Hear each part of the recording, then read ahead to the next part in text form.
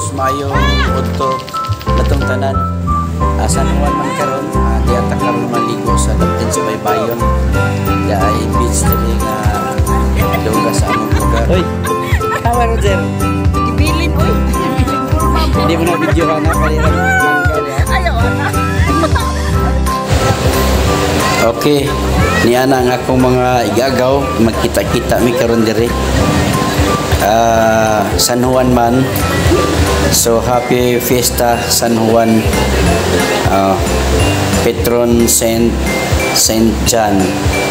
Ah, so ani ang akong mga anak akong ah, mga pagumangkon mga igagaw so ni ami diri sa beach limpyo kayo diri so everybody is invited here to come just visit this very nice place.